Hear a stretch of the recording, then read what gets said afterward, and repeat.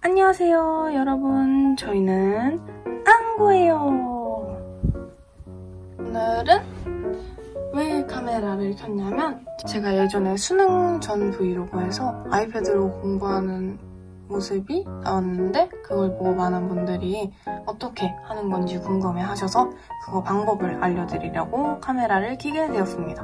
그럼 먼저 아이패드를 열고 제가 미리 열어둔 EBS i 사이트로 갑니다. 먼저 수능 특강 아이패드로 필기하는 법 알려드릴게요. 수능 특강은 수능 연계 교재이기 때문에 EBS에서 PDF 파일을 다운받을 수 있어요. 무료로. 로그인만 한다면.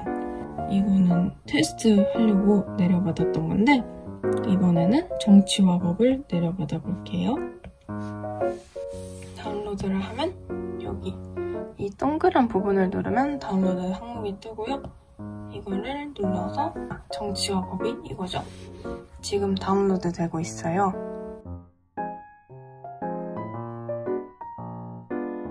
네, 이거를 누르면 바로 압축이 풀리고요. 여기 들어가서 보면은 이것도 아직 다운로드가 네, 다 됐다. 이거를 눌러서 들어가 보면 수능 특강이 이렇게 나오죠. 그러면은 위에 있는 이 버튼을 눌러서 저는 굿노트라는 유료 어플을 사용하고 있어요. 이게 필기 할 때도 편하고 다이어리 쓸 때도 좋고 해서 유료 앱이지만 그만큼 가치가 있어서 이거 사용하고 있고요. 이렇게 열어주면 새로운 문서로 불러오기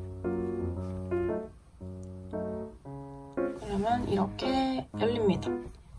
이렇게 열리면 여기에 이렇게 펜으로 이렇게 윗줄도 칠 수 있고 이게 또 직선으로 잘 쳐져요. 이렇게 설정 보면 직선으로 그리기가 있기 때문에 형광펜도 직선으로 되게 잘 그어지고 여기 만약에 필기를 했는데 위치가 마음에 안 들어.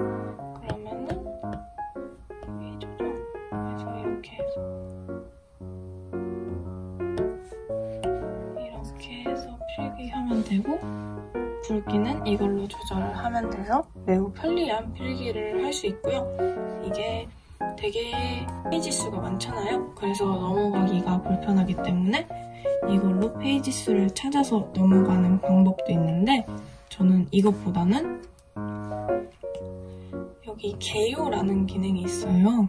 이거를 제가 직접 설정할 수 있는데 여기 목차에 들어가 보면은 그 단원 쪽수마다 적혀 있어요 여기. 그래서 만약에 내가 어, 4단원의 단원을 설정해 보고 싶다 하면은 36쪽으로 가요.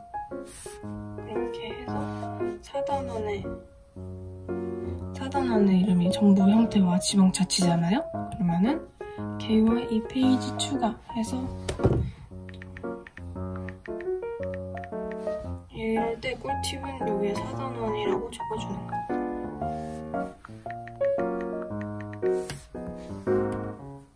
이렇게 하면은 뭐 이상한 페이지에 가 있더라도 네, 이 단원을 보고 싶다 하면은 바로 이 페이지로 넘어가서 볼 수가 있습니다. 이거를 저는 단원별로 다 설정을 해놔서 되게 편리하게 봤어요. 처음에 이렇게 설정해놓으면 좀 노가다지만 쓸 때는 굉장히 편리하다는 점. 그리고 저는 이거를 기출문제, 기출문제 분석할 때도 썼었거든요.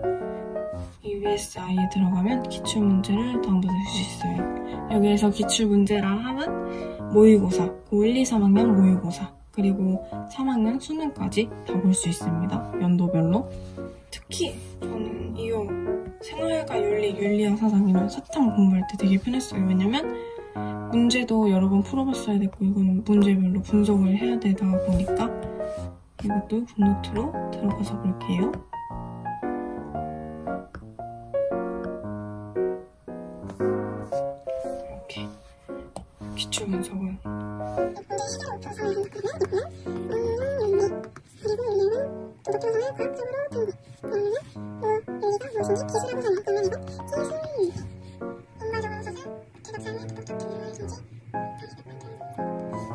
분석은 음, 이미 분석은 이제 웹차예요.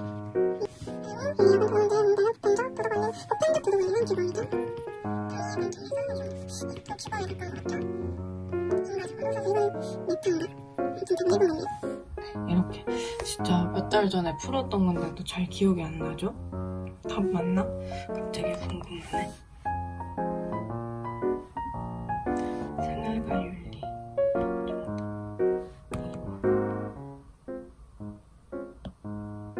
오, 맞았네. 아무튼 이렇게 기출 분석할 때 저는 너무 너무 너무 유용하게 사용했습니다.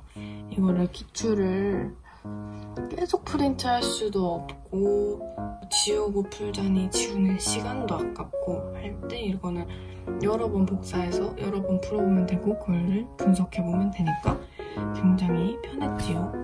그리고 마지막으로 오답 노트 썼던 거 알려드릴게요. 음, 어려운 문제가 있어요. 이런 거.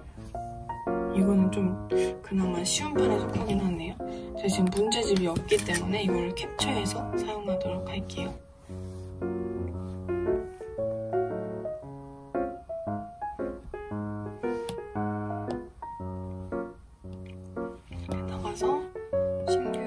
노트북을 만들고 여긴 이렇게 생성을 합니다. 속지는 개인 취향 따라서 설정하시면 돼요. 이렇게 오답 노트를 만들 준비가 됐으면 사진을 불러와야겠죠? 이렇게 사진을 불러옵니다. 이거는 그리기 쉬운 그래프에 속하는데 막 여기 도형이 있고 막 안에 막 있고 이런 거는 그리기가 어렵잖아요.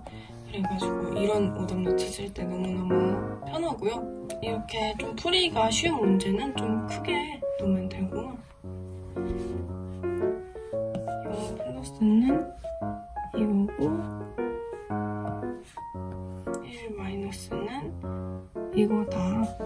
이렇게 이런 식으로 하면 되고요 풀이가 많은 거라면 사진을 좀 작게 하고 밑에 풀이를 쓰는 식으로 이렇게 오답 노트를 하면은 쉽고 편리하게 특히 그림 문제에서 너무너무 편리하게 오답 노트를 사용할 수 있고요 여기서 모든 페이지 내보내기 해서 PDF 파일이나 이미지 파일로 내보낼 수가 있어요. 그러면은 프린트해서 사용하시면 되고 여기서도 바로 바로 프린트를 할 수도 있어요. 그래서 뭐 학교에서 아이패드 사용이 안 되는데 오답 노트를 보고 싶어요 하시면은 프린트해서 사용하시면 굉장히 편리할 것 같습니다.